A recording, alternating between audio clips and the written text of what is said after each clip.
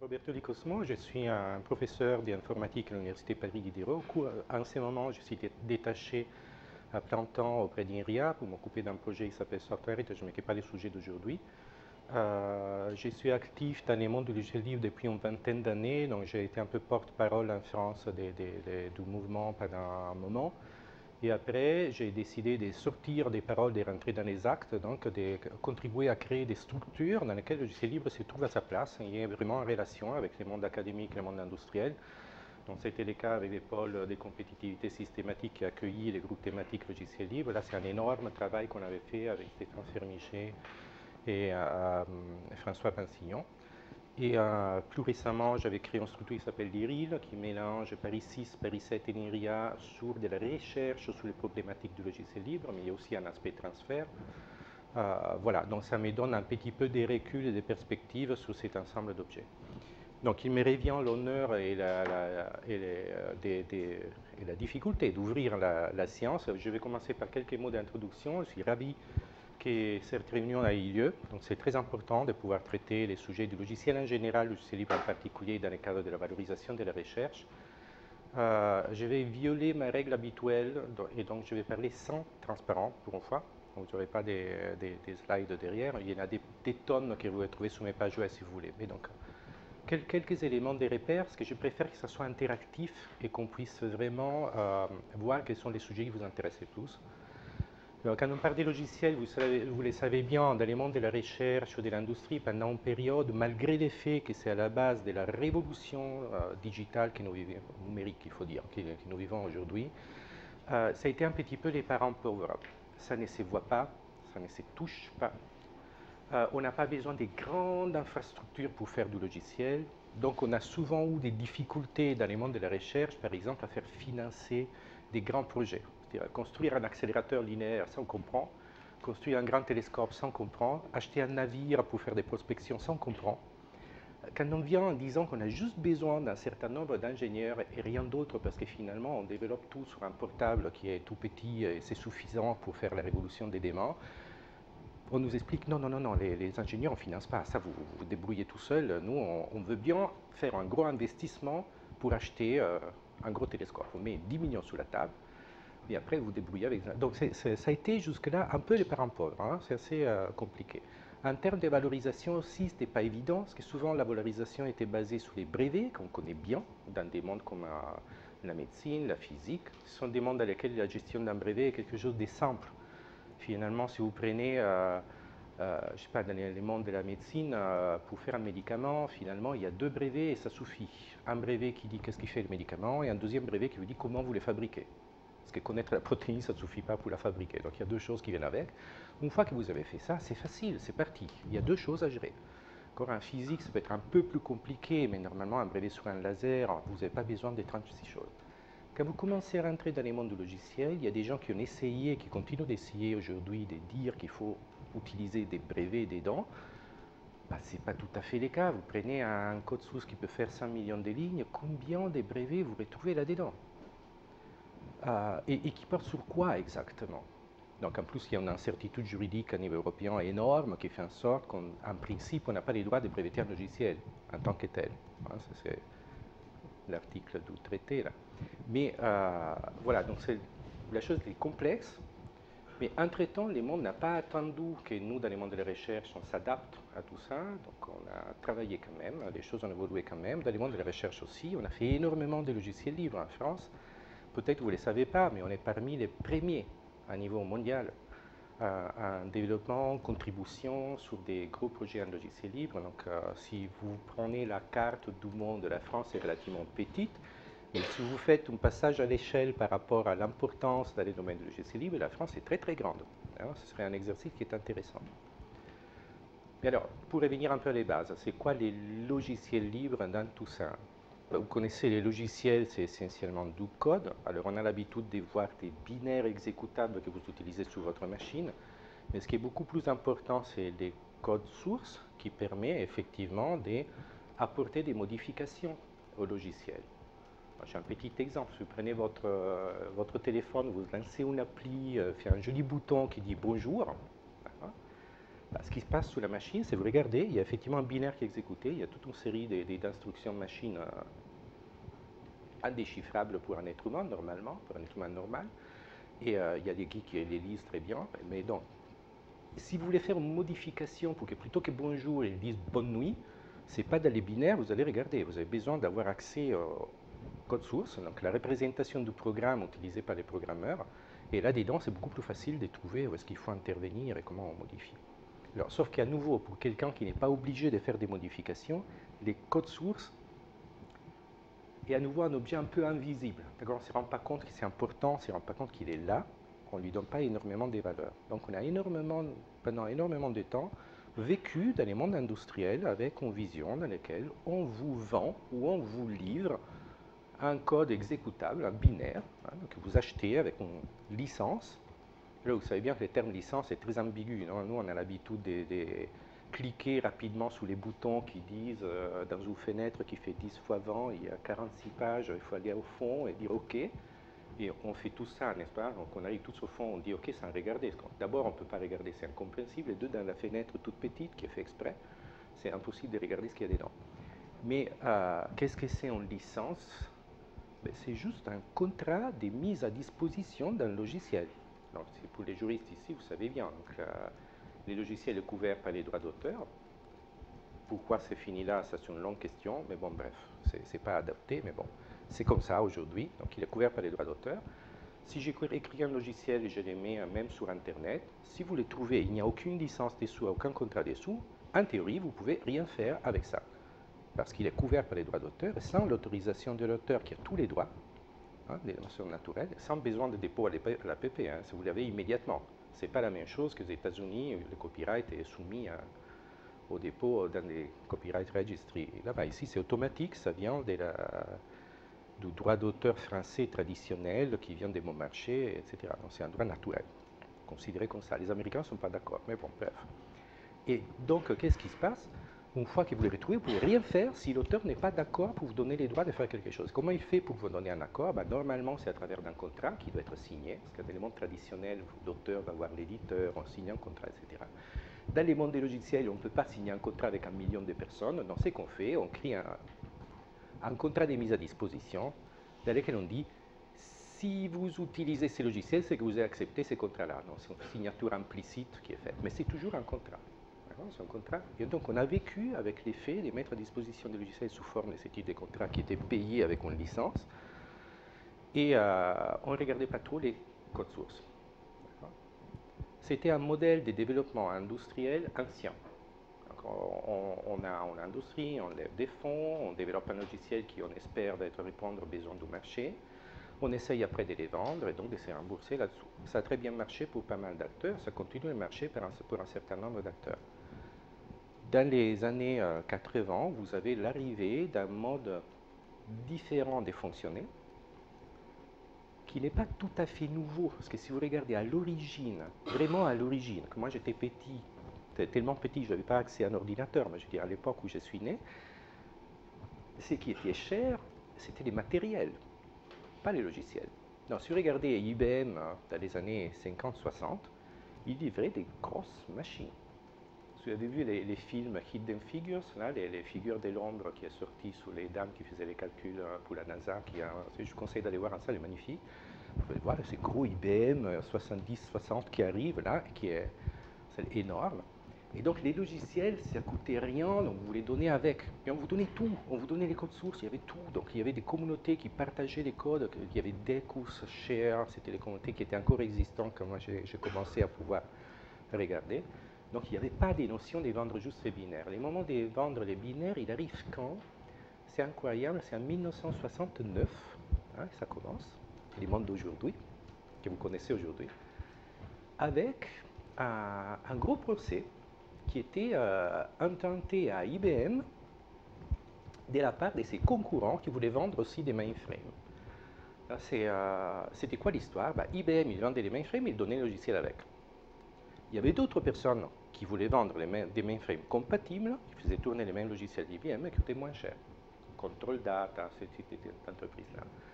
Mais IBM avait un jeu qui était très facile. On disait, ah, si vous achetez tous les paquets, ça coûte 10. Si vous voulez juste le logiciel, ça coûte 20. Vous êtes libre de prendre l'ordinateur de concurrent qui coûte moins cher, mais nous, on s'y reprend là-dessous. Donc, il y a eu toute une discussion avec l'antitrust américaine. Donc, à un moment donné, eh on dit, bon, d'accord, alors 1969, c'est la fameuse euh, unbundling lancée par IBM. Donc, on vous vend les machines d'un côté et les logiciels de l'autre. C'est à partir de ce moment-là qu'on commence à comprendre qu'il y a un marché pour le logiciel en tant que tel. Hein, pas séparer des machines. Et c'est là où on commence à dire, bah, si c'est un objet qu'on peut vendre, l'histoire de vous donner les codes sources, ça, on va y réfléchir. Hein, parce que c'est, euh, on ne va pas vous dire comment les modifier, l'utiliser tel quel, on va garder chez nous. Après, vous avez l'arrivée des ordinateurs personnels, et donc là, ça n'est fait qu'exploser. Là, vous avez un autre moment qui est assez magique. 1979, si je m'abuse, il faudrait que je regarde mes notes des cours. Il y a un jugement aux États-Unis qui était très drôle, donc c'est les moments où on, insère la notion des droits d'auteur hein, qui arrive là-dedans. Et il y a deux entreprises qui se font la guerre parce qu'une des deux entreprises a les prix, les binaires de l'autre et ils les vendent dans ses produits. Des pirates, on dirait aujourd'hui. Hein. Mais à l'époque, ce n'était pas clair. Donc vous avez des jugements de juge qui étaient absolument magiques, qui disent bah, finalement, il n'y a aucun problème parce que les droits d'auteur couvrent les logiciels dans sa forme des production intellectuelle, donc sous la forme de code source, mais pas les binaires exécutables qui n'est pas une production intellectuelle nous-mêmes. Donc la conséquence de ces jugements à l'époque était que c'était parfaitement légal d'aller pirater les binaires de tout le monde, etc. Ça n'a pas duré beaucoup, hein, donc il y a eu un, retour des bâtons assez rapide pour faire en sorte qu'on couvre bien aussi les binaires, les traductions, etc. etc. Donc, bref, donc là, à partir de ce moment-là, on, est vraiment rentré dans un moment où toute l'industrie a vécu sur un objet particulier, euh, bizarre, qui est la vente des contrats de mise à disposition des binaires des logiciels sans jamais avoir accès au code source. Donc, dans les années 80, vous avez un personnage qui est Richard Stallman, que vous connaissez, mais j'imagine que vous avez entendu parler de lui. Donc, lui, il reprend les notions des bases anciennes, ce n'est pas lui qui les invente, hein, l'effet de partager du code ou travailler sur du code, mais c'est lui qui les théorise. Donc, il théorise cette notion des logiciels libres, c'est-à-dire un logiciel dans lequel vous avez les droits, en tant qu'utilisateur du logiciel, de recevoir les binaires et d'exécuter comme vous voulez sans restriction, aussi en faire des, copies, de pouvoir modifier ces logiciels, c'est-à-dire avoir la possibilité d'avoir accès au code source pour les changer et l'adapter à vos besoins. Donc il y a ces deux propriétés, exécuter sans limitation et pouvoir modifier, donc accès au code source plus de propriétés supplémentaires qui sont faites pour créer une communauté autour. Donc vous avez aussi les droits de les partager. Donc j'ai les codes que j'ai reçus, je les donne à qui je veux. Et euh, aussi les codes sources modifiés éventuellement, je prends et je les donne à qui je veux, sans restriction. Ça c'est la théorie, d'accord? Tout ce qu'on appelle logiciel libre est quelque chose qui a ces quatre propriétés-là. Et comment on fait pour coder ces quatre propriétés-là, bah, comme tout ça est dans les cadres du droit d'auteur, il faut l'écrire dans un contrat de mise à disposition des logiciels qui s'appelle une licence. D'accord? Donc si vous regardez les licences de logiciels libres, c'est rien d'autre que des licences de logiciels comme les autres, mais dans lesquelles on fait des choses bizarres par rapport à les habitudes industrielles antérieures. Donc on vous donne essentiellement tous les droits qu'on vous retirait avant. Et après, il y a des variantes, évidemment. En échange de ces droits, vous avez des obligations qui peuvent varier, mais ça, c'est un sujet d'autres discussions. Pourquoi je vous parle de ça? Parce que vous voyez, donc, euh, fin des années 80, il y a cette théorie-là qui s'est mise en place. Il y a des gens qui trouvent ça très, très, très bien. Surtout dans les mondes académiques, on les prend très vite. Parce que vous voyez, dans les mondes académiques, c'est dont on a besoin, nous, comme chercheurs. Il ne faut, pas oublier, hein, parce qu'il y a la partie transfert, mais avant, il y a la partie transfert, a la partie recherche. Donc, maintenant, les chercheurs, on a besoin de collaborer sur des projets ensemble. Et donc on produit énormément de logiciels. D'ailleurs, on ne sait pas quel logiciel va avoir de succès au début. Hein, parce qu'on commence avec des petites briques, des bricoles à droite à gauche. On ne sait pas du tout si ça va prendre, si ça ne va pas prendre, etc. Et donc on essaye, on a toujours essayé, de créer autour une communauté. Regardez comment ça marche. Oubliez le logiciel pour l'instant. Regardez comment ça marche avec les grandes écoles, que ce soit en mathématiques, en physique, en chimie. Donc vous publiez votre livre, vous essayez de le faire utiliser au maximum de personnes. Parce que comme ça, vous créez une école, il y a des gens qui ne connaissent que votre livre, qui ne, jouent que pour votre livre. Donc, ce n'est pas tellement les, droits d'auteur que vous empochez, hein, c'est des fois, ce pas beaucoup. C'est l'effet que tout le monde va utiliser votre théorie, votre vision de, ces domaines des maths, votre vision de ces domaines de la physique. Et c'est ça qui vous donne finalement les pouvoirs plus tard. C'est le pouvoir de la communauté qui utilise vos objets. Donc, quand vous commencez à faire du logiciel, il y a un peu les mêmes mécanismes qui sont mis en place, d'accord? Parce que c'est il y a énormément de logiciels de calcul symbolique, il y a énormément de logiciels de simulation numérique, il y a énormément de logiciels de, protein folding, etc. Mais lesquels va être réutilisé par les autres et va finalement prendre de la valeur parce que les gens veulent celui-là plutôt qu'un autre? Il y a plein d'environnements de développement en Java, par exemple. Il y avait, maintenant, Eclipse est essentiellement les seuls présents un peu partout, utilisés par tout le monde. Gal, tu pourras le dire, avant, il y en avait plein. Mais comment faire pour devenir l'objet des références? C'était assez naturel dans les mondes académiques de dire non seulement je fais mon logiciel, mais j'essaye de le partager au maximum avec les autres.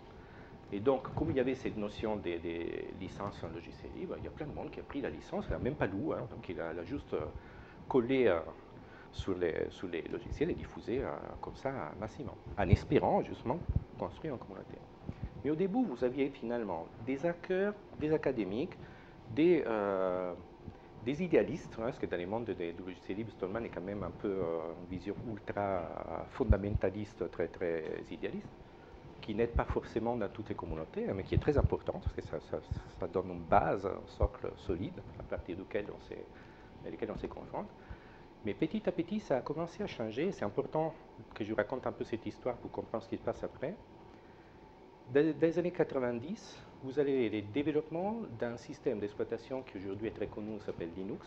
C'était une sorte de euh, variante euh, en forme logiciel libre de Unix qui était très utilisé dans le monde de la recherche et de l'industrie.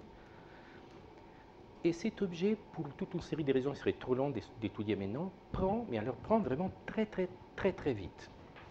Jusqu'au moment où 1999, c'est un autre moment super important dans l'histoire de l'évolution du logiciel libre. En 1999, il se passe quelque chose de très drôle. Euh, c'est une anecdote que je peux vous raconter. Il y a deux Allemands qui vont en stage dans un centre de recherche IBM en Allemagne. D'accord? Là, ils arrivent, comme vous savez, il y a plein de stagiaires partout, on les met dans un coin, on leur dit bah, qu'est-ce que vous pouvez faire? Euh, Allez, il y a les, IBM 390 qui est là-bas, énorme truc euh, avec plein de, des cartes mémoire super. Si vous n'avez jamais vu ça, c'est incroyable. Donc il y, a, la mémoire en RAID dedans, c'est-à-dire vous ouvrez la carte, toutes les barrettes mémoire sont doublées avec des LED dessous. Donc si on tombe en panne, vous l'enlevez, vous mettez l'autre, c'est pas grave, sans étendre la machine. C'est un truc incroyable. Bon, c'est des vrais trucs en production. On dit, bah, vous débrouillez pour faire en sorte qu'on puisse imprimer sous cette imprimante là. Vous écrivez les pilotes qui connectent l'ordinateur imprimant.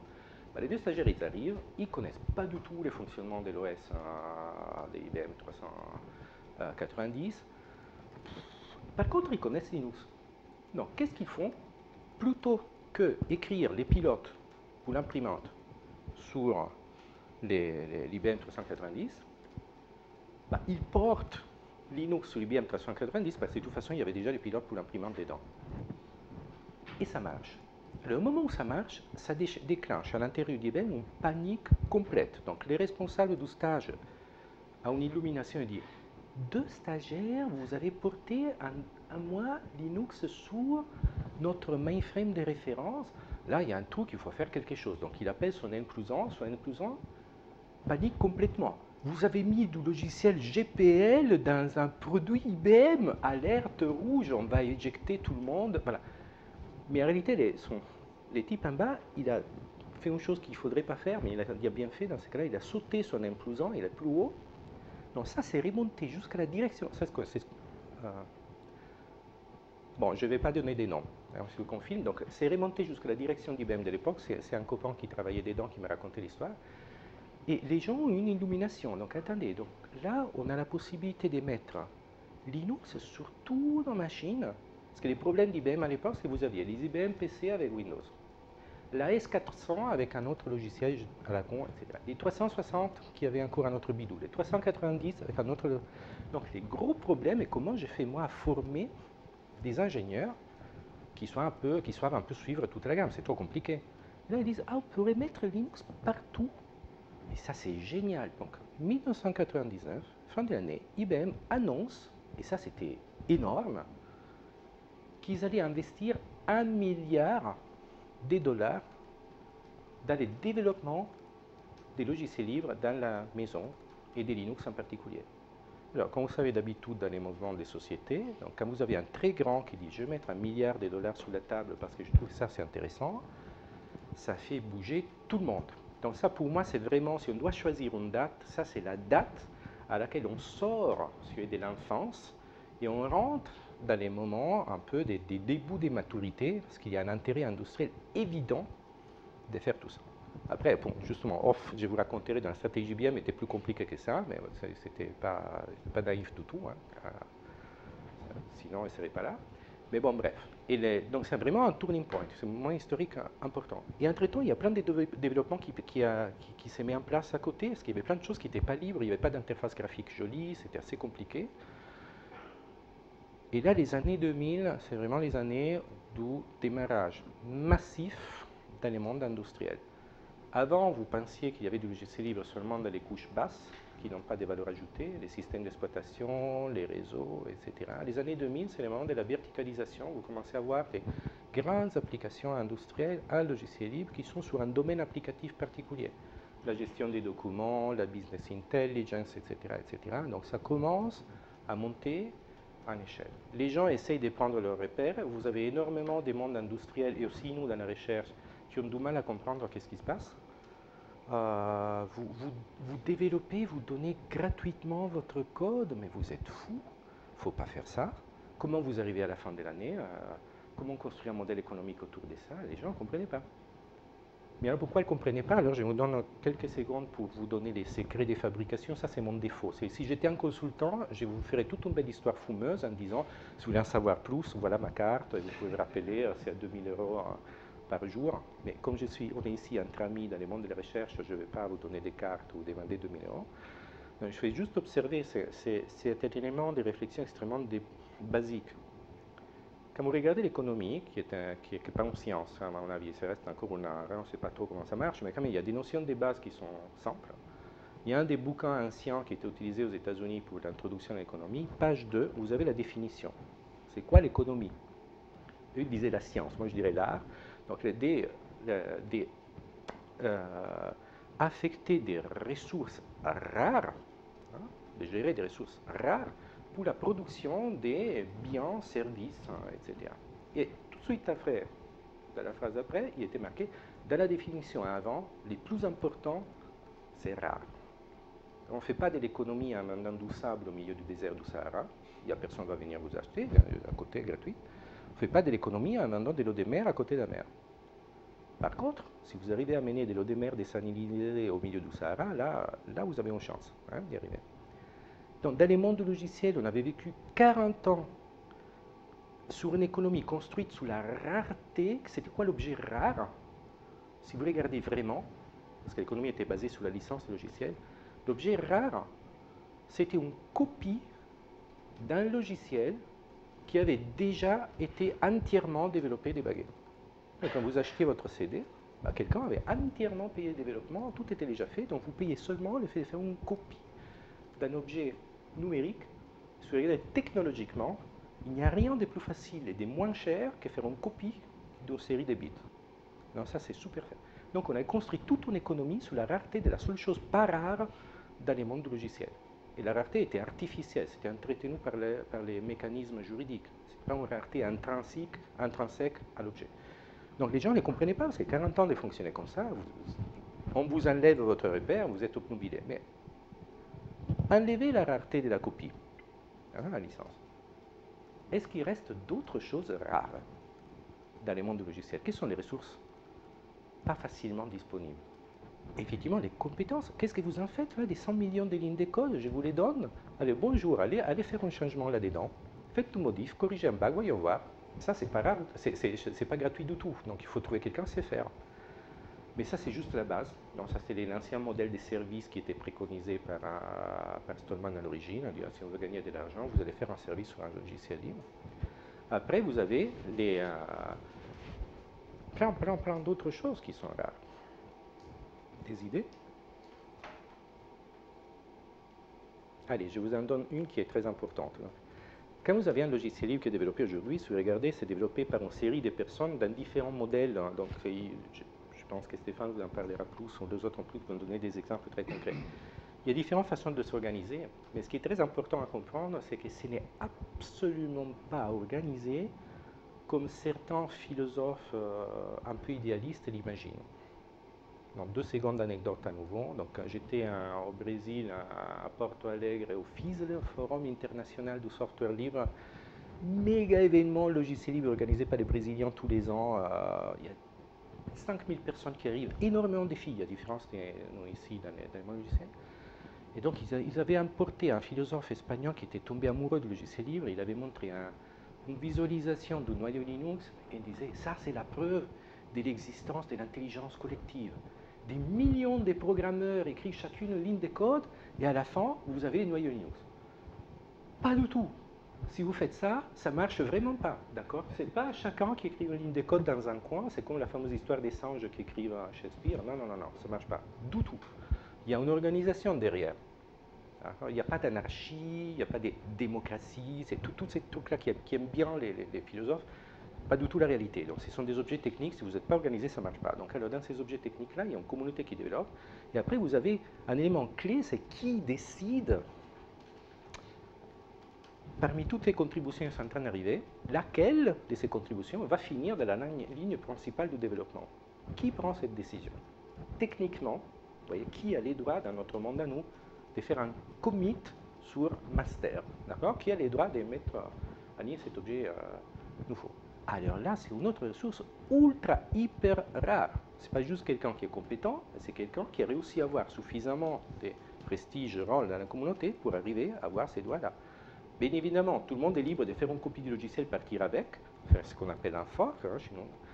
Mais euh, c'est très, très, très, très, très compliqué de reconstruire une communauté autour d'un fork. Ça, ça se compte sous les doigts d'une main, ce type d'événement-là.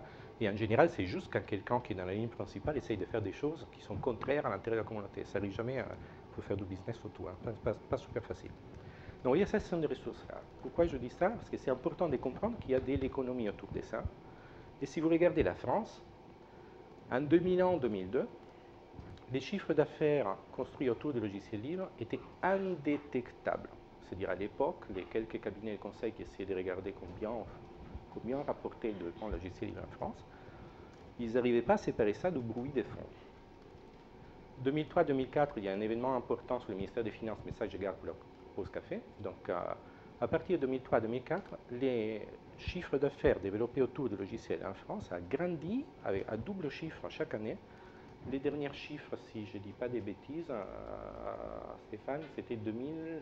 Les derniers rapports, c'est 4 milliards et demi ou, 4 milliards et demi? Donc 4 milliards et demi d'euros en France, des chiffres d'affaires uniquement sous le logiciel libre. Donc oui, il y a des modèles économiques, bien sûr, sinon il n'y aurait pas 4 milliards et demi derrière. Il faut comprendre comment ça fonctionne.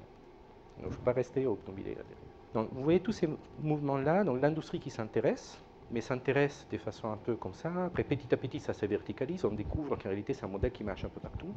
Et finalement, on découvre vraiment que dans les mondes du logiciel, les ressources rares, ce sont les personnes. ok? Ce sont les personnes compétentes. C'est ça qui est rare. Comment les organiser, etc. C'est ça la vraie, vraie ressource rare. Il y a des cas dans lesquels vous faites un solveur numérique, hein, une fois que c'est complètement débagué, le packagé, vous foutez dès qu'il a développé et vous les vendez à quelqu'un, d'accord mais bon, ça c'est un peu la marge. Hein. Donc en général, euh, ça, existe. Il y a des, solutions d'émaillage qui sont sous licence propriétaire, qui font plein d'argent. Chez nous, Iria, par exemple, encore aujourd'hui, ça, existe. Je ne dis pas que tout doit être un logiciel, pas du tout. Hein. mais on est en train de bouger dans un monde dans lequel il est vraiment important d'avoir les bonnes ressources intellectuelles derrière, sinon ça n'avance pas. Et ce qui est, étonnant, de voir maintenant, si vous allez faire un tour en Silicon Valley euh, aujourd'hui, j'ai eu l'occasion d'en faire plusieurs ces derniers mois pour, pour les projets que je dirige, discuter avec les gens, c'est évident, c'est pour eux, c'est, les logiciels libres, c'est évident. Il appelle ça table stakes. quand, quand, tu veux jouer au, poker, juste pour ouvrir, il faut mettre un fiche sur la table pour ouvrir. Donc ça, être engagé dans les jeux libre, c'est juste avoir un fils sur la table, ça garantit rien. C'est dire, mais si toi même pas ça, tu ne peux pas jouer. Donc il y a tout le monde qui s'engage dans ces mondes-là. Regardez Google qui libère Flow, regardez euh, euh, Facebook qui libère d'autres solutions. Pourquoi? Ça leur a coûté une fortune à développer. Pourquoi ils les mettent sous licence libre? Pourquoi? Bah, La réponse est évidente. C'est une question de mindshare. C'est-à-dire, quelle est la solution des uh, machine learning qui va être la solution qui contrôle les marchés dans 2 ans, 3 ans, 4 ans? Bah, La seule solution, c'est attirer des gens qui l'utilisent, construire une communauté autour et faire en sorte qu'il soit adopté. Et donc, tout le monde fait ça. Donc, on libère des composants stratégiques. Prenez Microsoft, qui était l'ennemi historique du logiciel libre il y a 15 ans. Euh, l'entreprise est en train de changer complètement. Parce que regardez, dans les, données des, GitHub, des, statistiques qui sont sorties euh, l'été passé, l'entreprise qui contribue le plus à le logiciel libre aujourd'hui, c'est, surprise, Microsoft.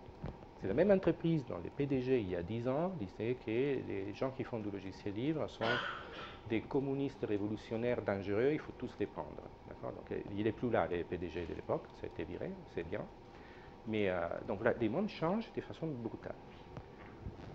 Donc, je pense que le moment est vraiment venu ici, dans notre petit monde de la recherche qui n'évolue pas si vite que ça, et c'est normal. C'est-à-dire, d'une certaine façon, on est dans les temps longs, ce qui est très important, parce que vous ne pouvez pas faire du transfert si vous n'avez pas d'idées nouvelles. Les idées nouvelles ne viennent pas comme ça en deux minutes. Oui, ok, euh, Facebook, ça peut venir en deux minutes, mais je ne dirais pas sous, la, recherche du fond, on a besoin de regarder sur le long terme. Donc on est habitué à des cycles longs. Par contre, quand on s'approche du transfert, qui est plutôt sous des cycles moyens courts, euh, bah, finalement, on reste sous des cycles longs là aussi. On ne se met pas forcément à jour par rapport aux choses qui changent tout le temps. Et là, par contre, c'est une erreur. Il faut vraiment se mettre à, jour par rapport aux choses qui sont faites, hein, qui sont devenues standards aujourd'hui. Et donc, la vraie question est comment mettre en place des mécanismes de valorisation des travaux de recherche euh, qui exploitent de façon intelligente euh, toutes les particularités du logiciel libre aujourd'hui. Je répète à nouveau, hein, je ne suis pas Richard Stallman, je ne suis pas en train de vous dire que si vous touchez à du logiciel non libre, vous allez tous mourir. Ce n'est pas ça. Je suis en train de dire qu'il faut regarder. Il y a des cas dans lesquels c'est normal de faire une exploitation propriétaire. il y a des cas dans lesquels c'est beaucoup plus intelligent de faire une exploitation sous logiciel libre.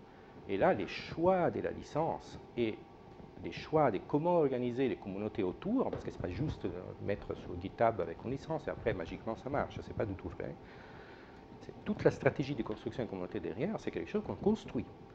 Et alors, il y a dix ans, c'était de l'art, mais non, je ne dis pas que c'est une science, mais disons, on connaît énormément des choses.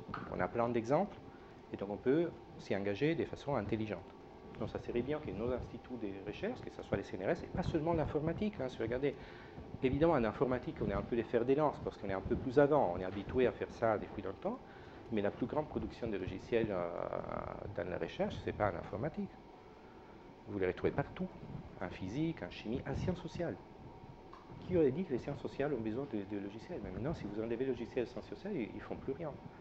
Et ce n'est pas juste les stats, hein, ce n'est pas, pas, juste R pour faire des stats sur les populations, il y a plein d'autres choses qui sont faites. Linguistique, prenez linguistique. Donc il y a énormément de domaines dans lesquels il faut un peu agir. Bah voilà, donc je voulais juste terminer ici.